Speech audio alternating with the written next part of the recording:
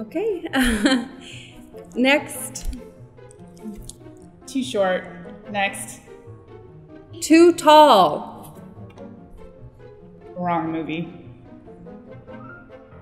We actually, uh, you're already playing a part in the movie, so we can't have you play Freddie.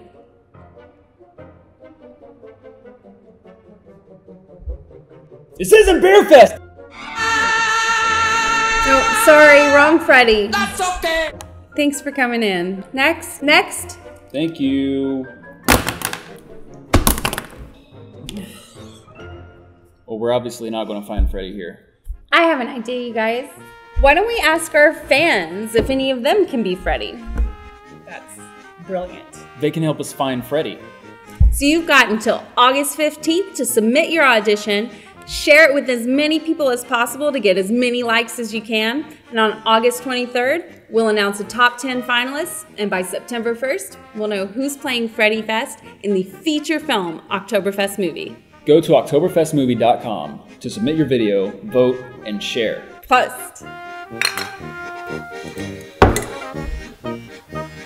I have an idea.